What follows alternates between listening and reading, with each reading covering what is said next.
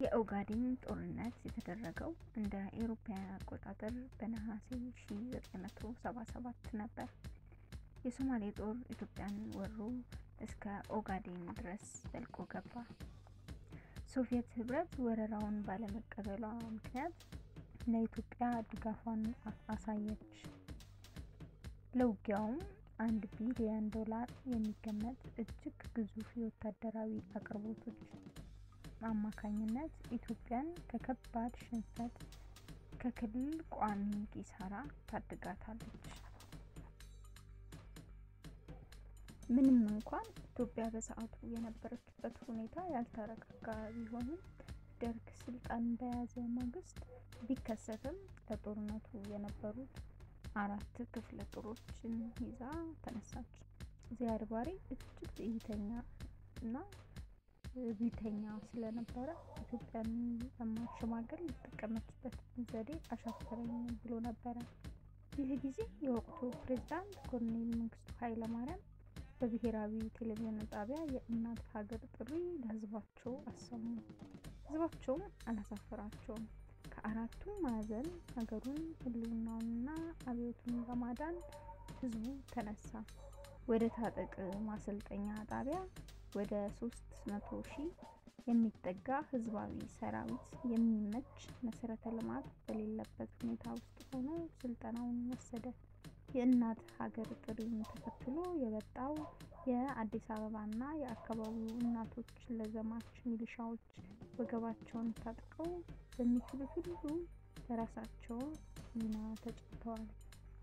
በጊዜውም ከተነገሩት ግጥሞች ጀባ ብንላችሁ ጅግጅጋ ላይ ያለው የበረሃው ዘንዶ ጠላቱን ዛሬ አረገው ባዶ።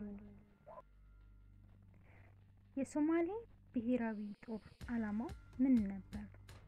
በጄኔራል መሐመድ አሊ ሳማት መሪነት ኢሮ እና ሌሎች ከፍተኛ የሶማሊያ ወታደራዊ ባለስልጣናት እንደ ኤሮፓውያን አቆጣጠር በ1977 በኢትዮጵያ በኦጋዴን ዘመቻ ዝግጅት ብሔራዊ ስትራቴጂ በመንደፍ ተልዕኮ ተሰጥቷቸው ነበር።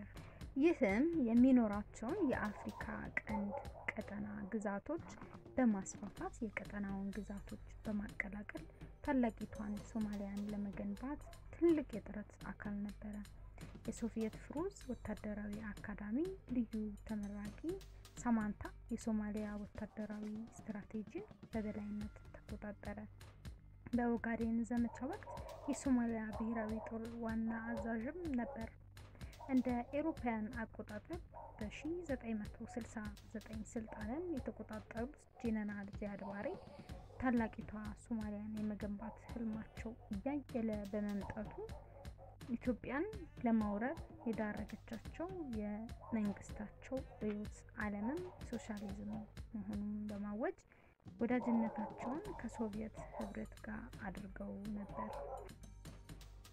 ሌላው ኢትዮጵያን የረዷት በኩባው ፕሬዝዳንት ፊደል ካስትሮ የተላኩት ከ12000 እስከ 24000 የሚጠጉ የኩባ ወታደሮች ኢትዮጵያን በመርዳት ሁለተኛ የሆነውን የአፍሪካ ጥላችንን በሶማሊያ ላይ ተቀናጅተዋል።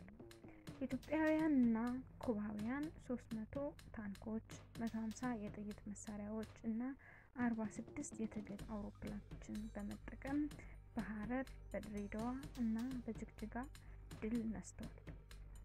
ሶማሌዎች ከኦጋዴን ስልታዊ በሆነ መንገድ ማስወጣት ጀመሩ።